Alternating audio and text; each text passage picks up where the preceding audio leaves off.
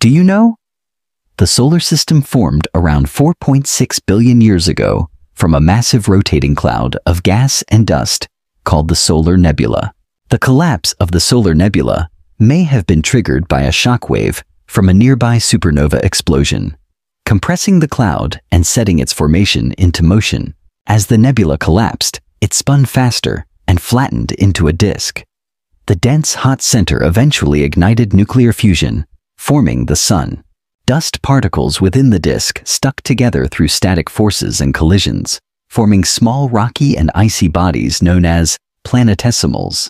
Close to the Sun, intense heat caused only heavy elements like metal and rock to remain, forming the rocky planets Mercury, Venus, Earth, and Mars.